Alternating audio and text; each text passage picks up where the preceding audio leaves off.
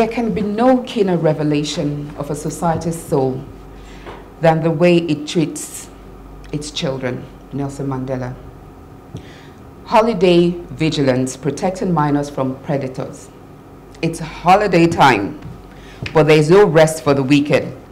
Schools are closed and children are excited to be home to enjoy the unstructured time away from teachers, assignment, and academic rigor. But as children relax, it is time for parents and guardians to be on alert for the dangers lurking around. Predators are on the loose and are smirking at their potential victims. These victims are your children, boys, and mostly girls. And most of the perpetrators are familiar to them. Uncles, cousins, lesson teachers, domestic staff, pastors or imams delivering children from stubborn spirits, and in some bizarre cases, their fathers. Defilement, defilement of mi minors occurs in your homes, churches, summer schools, and uncompleted buildings, especially for child hawkers. UNICEF says six out of every 10 children in Nigeria experience emotional, physical, or sexual abuse before the age of 18, with half experiencing physical violence. Dear parents, be extra vigilant. Due diligence, due diligence is required when outsourcing the care, entertainment of your children and words during the holidays. One of the most important skills your children need to learn this holiday is self-defense against the minors, against the monsters in our midst. So how do we protect our minors from the menace of rape and sexual assaults, child labor, and the incidents of rape? Now, every day when I open the newspapers, the pictures abound. 14 year old girl molested, two year old molested by somebody. Uh, it goes on and on, and boys are even part of it. A research was carried out, informal research, and found that a lot of children are molested in their homes. Nigerian children their first their foretaste of sexual violence or sexual assault happened right in their homes by people relatives who are living in mm -hmm. in their house and now that it's holiday time as children parents won't stop work so when they go off and all that. They leave their children, and some send their children to churches. If a child is being a child, you say, "Oh, this child has some stubborn spirits. You need to go and, you know." According to WHO, 1.7 billion children are being molested, abused globally, and from these um, statistics, one out of five females have been abused and mm. one out of 13 males. Yeah. You see the disparity that mm. women, children, female children, children are more vulnerable. Yes. Yes. vulnerable. Yeah. So who are these abusers? We ask ourselves. They are within us, you get within our spaces.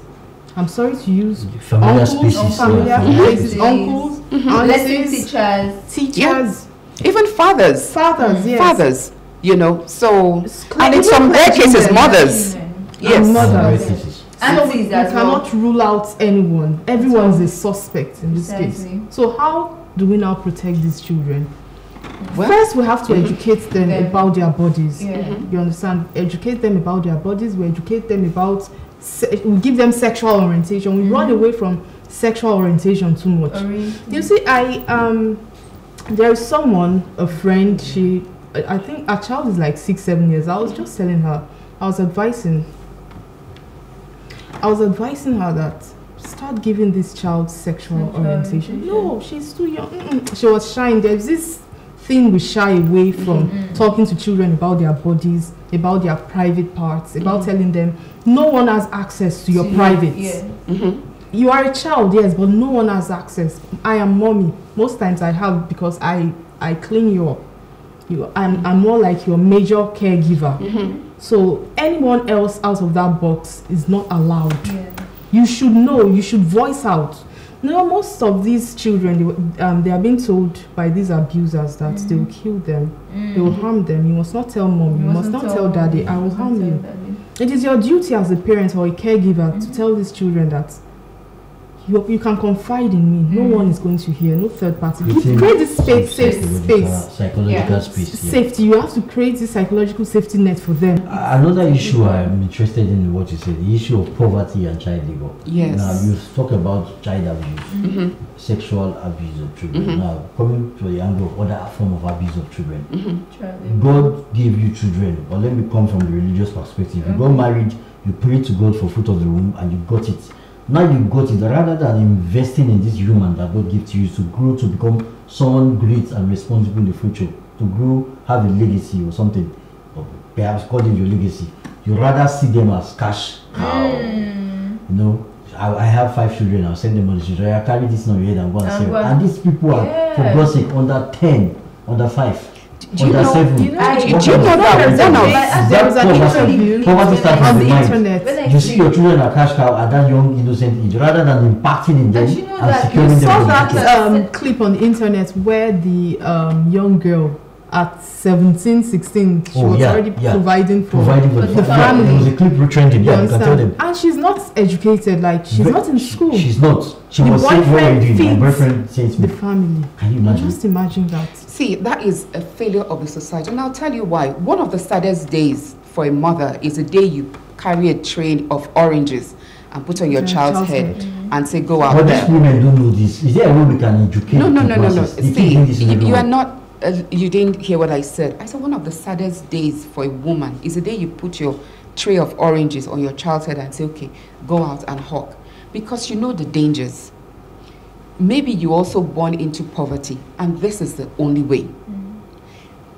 Um, growing up, we encourage children. Uh, you see, uh, Oyibo kids, they have lemonade stand, you know, they're selling lemonade, mm-hmm. they're making small. We're encouraging entrepreneurship for the mm-hmm. children. My point is, there are times that children will have to help their parents because things are difficult. difficult. You cannot have a house full of um, children, maybe uh, 10 to 15, 16, and then every day you go out and you come back home with one naira. My point is, is there a way, back to the government now, mm. government intervention to support families? So you hear, oh, they're giving 5,000 naira or uh, 30,000 naira, and you're asking yourself, a tuber of yam is 8,000 naira. How? Uh, beans and whatever, 8,000 naira for this and that. So my point is, how do we, child labor, by the way, is a crime. Mm-hmm. Yeah, yes. it is. It's, it's, it's a crime. crime, you know. But the government has decided to look away like this.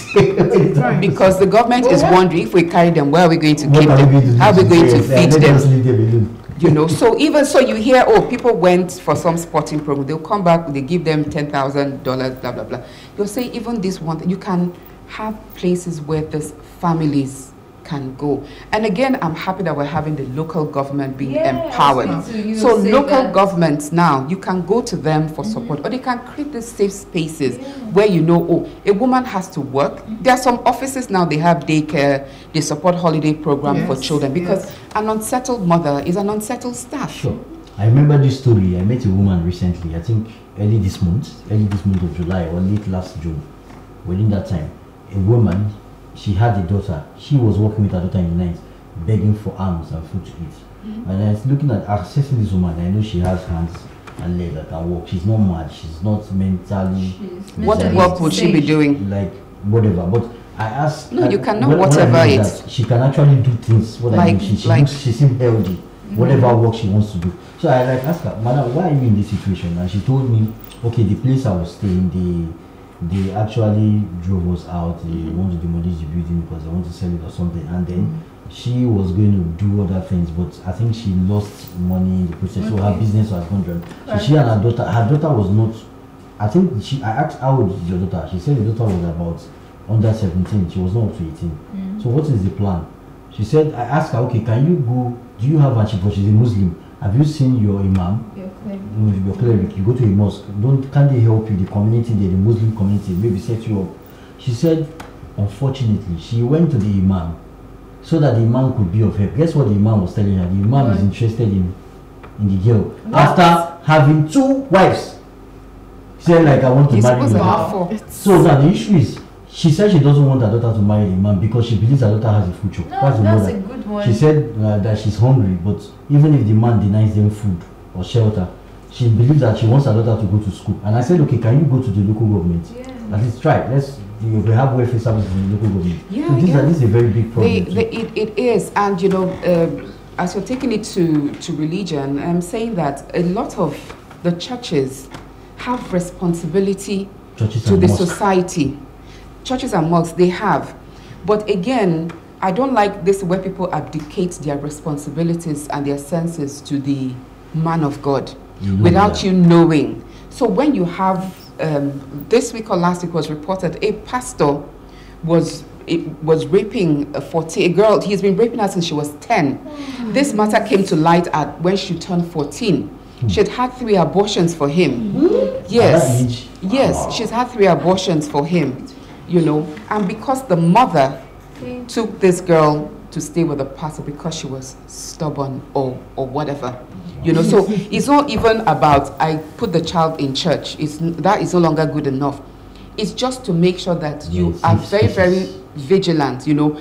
Parents will now have their own parents brigade that anywhere you have a cluster of kids there will be a parent monitoring. Mm. technology is helping cctv and all of that. But we know that the man who raped a two-year-old girl moved he knew where the cctvs were and he moved away from it so that you know he, he will not be, be he will not be seen. So i'm just saying that sometimes you don't you don't have to have it all. You can't have everything. If you choose to have children you should be able to take care of them. Some of these children that are abused are not indigent children. They are not their mothers or their fathers would be able to say okay let me take a different kind of job that i'll be more available or let me take other hours. Thank God now for remote jobs. But even inside those homes, you find women who don't have time for their children. You're talking about intentional You have fathers, yeah, you have fathers that the children cannot even talk to.